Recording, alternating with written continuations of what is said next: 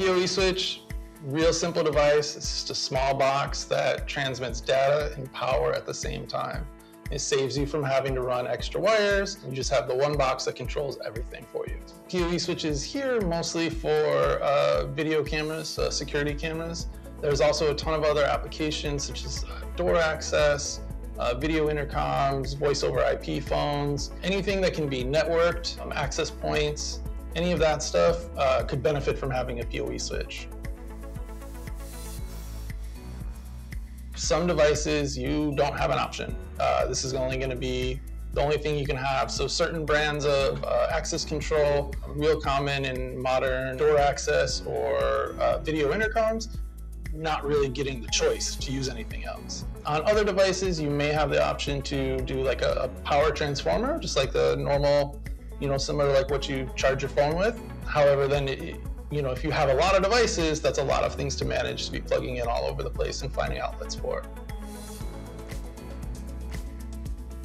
So the four most common uses for PoE switches are going to be uh, security cameras, office equipment like printers and that sort of thing, gaming setups, and then also any kind of networking device like uh, your access points or your Wi-Fi repeaters. So one of the most important things that you're going to want to look at is the total power that you require for whatever number of devices you're putting in. Um, standard PoE switch will only cover you for about 30 watts.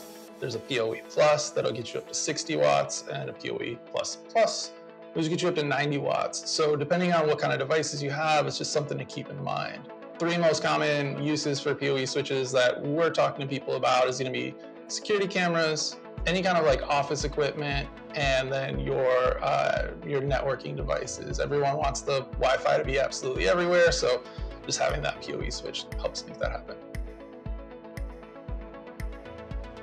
In the market, there's a lot of different PoE switches, PoE makers out there. The BV switches are going to be great for your uh, residential, small, medium business, companies that can't afford to pay $10,000 for a, a Meraki or a Cisco switch. These devices are going to do everything those small, medium business and residential customers need without a whole bunch of needless things or having to have an IT team to manage everything and keep it all together. In the marketplace at the, the small, medium business, residential, you have other companies like TP-Link or TrendNet.